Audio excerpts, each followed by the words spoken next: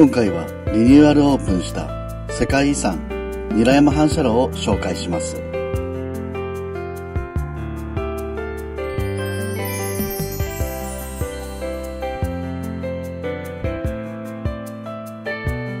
前回の動画ではここからすぐ近くにある2022年の大河ドラマ「鎌倉殿の13人」の大河ドラマ館を紹介しています。興味のある方はぜひそちらもご覧くださいよろしければこの機会にチャンネル登録よろしくお願いいたします。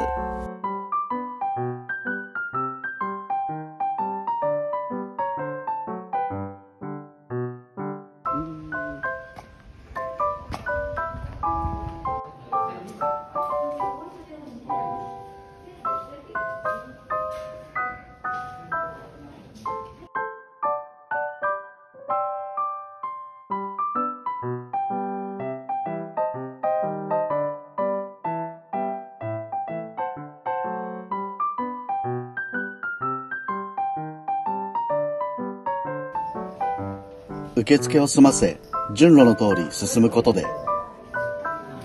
韮山反射炉の歴史を知ることができます。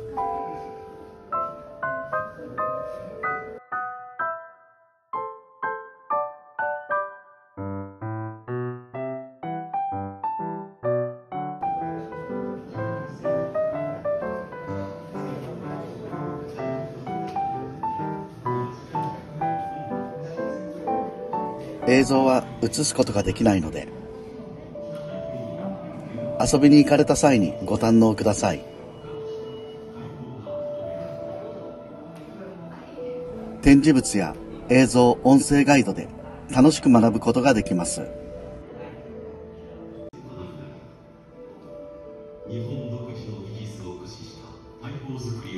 この先の巨大シアターではダイナミックで迫力のある映像が、プロジェクトマッピングで映され、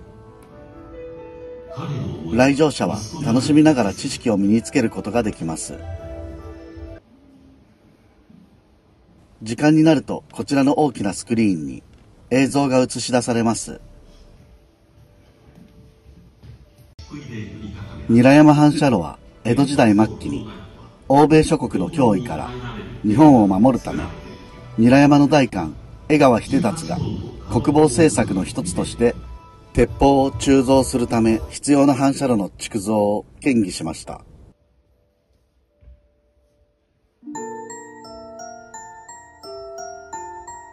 当時、明治政府により、韮山県を任された伊豆韮山の代官、江川秀達は、韮山反射炉の完成を見ることはなく、その意志は息子の秀武によって引き継がれ、完成を迎えています。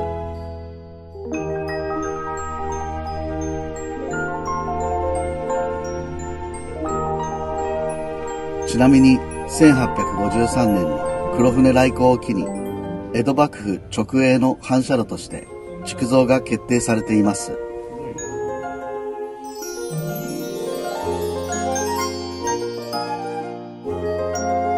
順路の通りに見学を済ませると出口につながります。この建物を出た先に世界遺産韮山反射炉が姿を見せてくれます。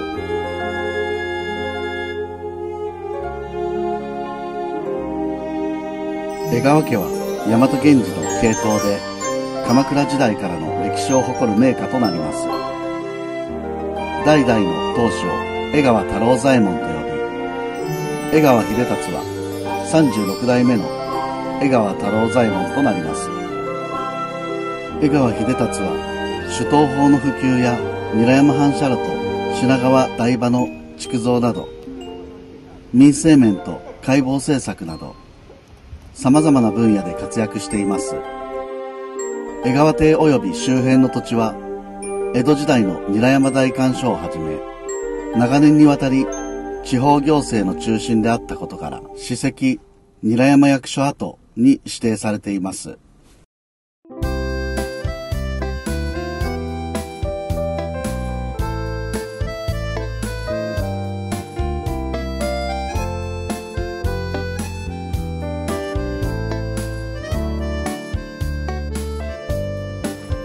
反射炉は外側を伊豆石で積み内側は耐火レンガでアーチ状に積み作られています。熱や炎がドーム状の天井に反射して千数百度の高温を作り鉄を溶かし溶けた鉄は出口から外の鋳型に流し込み固めて大砲などを作っていたそうです。無料ガイドを依頼すると反射炉をより詳しく理解できます。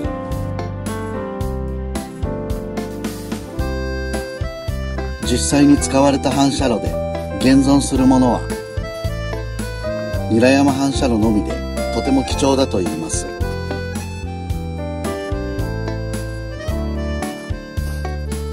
敷地内には反射炉の他に方針をくり抜く水台小屋や仕上げを行う温室仕上げ小屋家事小屋などがあり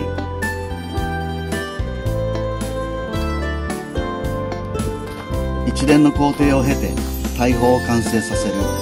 製法工場だったそうです。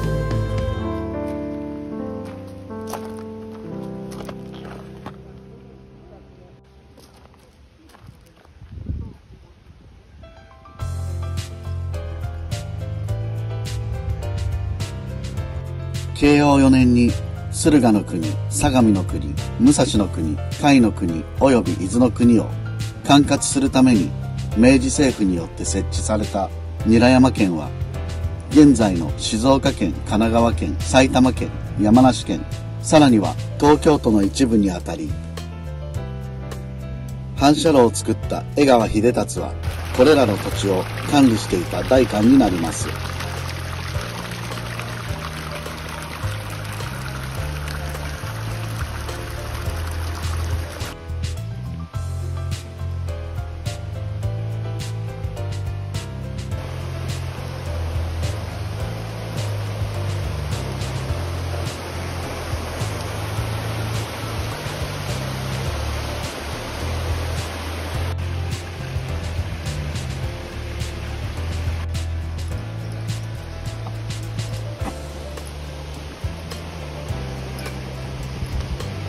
この先にはお土産どころとお食事どころがあります。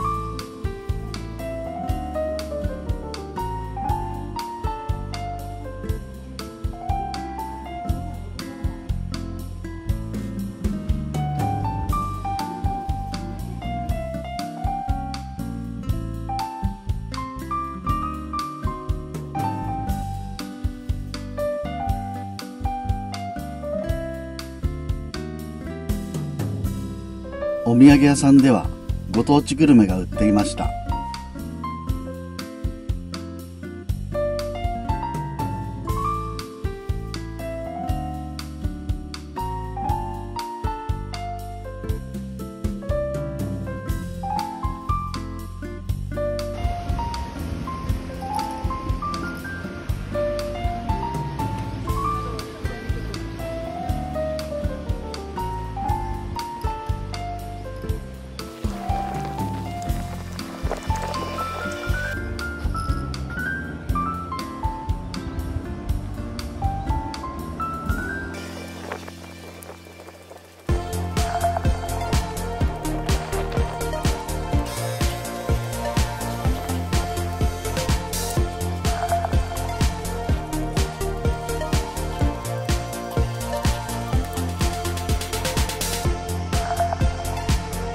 天気が良いと富士山が見られるそうです。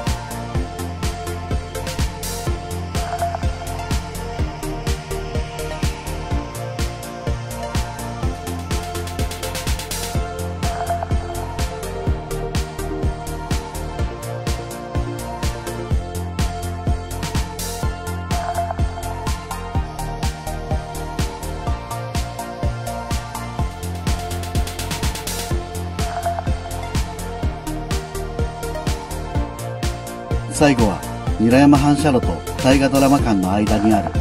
蛭ヶ小島の源頼朝と北条政子の像をご紹介して終わりたいと思います。